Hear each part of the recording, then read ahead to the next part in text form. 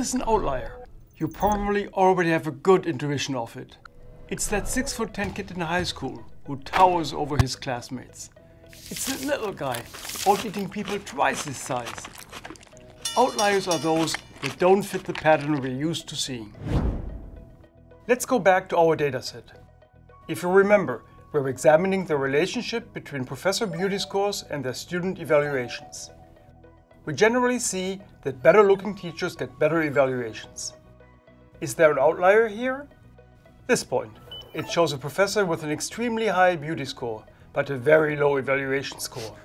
so I guess in this case, looks aren't everything. A single outlier can have a major effect. We can see this in our data by removing or adding points and seeing the effect on the regression line. Let me show you. If you right click or control click, you can remove a point from our regression analysis. Let's remove this outlier and see what happens. The dotted line is our old regression line and the solid one is our new one. You can see it's gotten steeper. That makes sense as we're removing an outlier that is pulling the line down. You can also see down below that our slope value has changed from 0.2 to 0.3.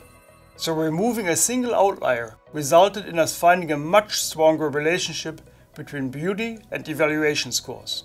If you remember, in our last video we did an exercise where we predicted the expected change in evaluation score when going from a 2 to a 7 in beauty score. Our old slope was 0.2 which meant a one point predicted increase in evaluation. With this new line, we'd predict an increase of 1.5 points in evaluation. That's a 50% stronger effect and that's the power of an outlier. That one really good looking but really bad teacher is changing our model a lot. The point is, regressions can be sensitive to outliers. If you want to get your outlier back, you can just click the undo button. Additionally, we can add data points to our regression by just clicking anywhere in the canvas. You can see again, the line moves each time, showing my new regression line with a solid line and the previous line with a dotted line. Now it's your turn. I'd like you to try two things. First, remove a point so that the relationship weakens. The line should get flatter so the slope should go down. And second, add some data points to make the relationship stronger. So pause the video now and try it out. Find the answer by clicking to see the data in this video. The link is also in the video description below. If you just want to see the answer already, hang tight. Hopefully you've had some fun adding and removing data points. It's good to play with data to build your intuition. Let's cover the first question. How to remove a point to make the relationship weaker. For example, remove this point you would have seen a flatter line and our slope go down from 0.2 to 0.14. So how about to make the relationship stronger? Let's go back to our original dataset with a slope of 0.2.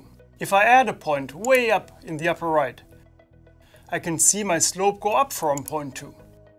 I can also add one in the lower left and see another increase. The more points I add to these two regions, the stronger the relationship gets. So now that we've seen the power of outliers, your next question might be, can I just remove the outlier? It's important to remember we're typically using a regression to make a prediction about the real world. In the real world, we see guys who are 130 pounds eat 60 hot dogs. So if you want to predict hot dog eating based on weight, removing an outlier without thought can make your predictions worse. However, in certain cases, it might make sense to remove an outlier. What if you were trying to predict the number of hot dogs an average person would eat at your upcoming barbecue? Then, including Kobayashi would make your prediction much worse. In this case, he is clearly an outlier and should be omitted from the model. You might have also noticed something else changing when we removed the outlier. These funny numbers. What do those mean? That's what we turn to next. Congratulations! You're one step closer to being a data ninja.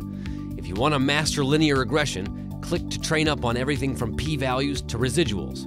and then prepare to unleash fury on whatever poor data set crosses your path. Or you can explore other skills in our Understanding Data playlist.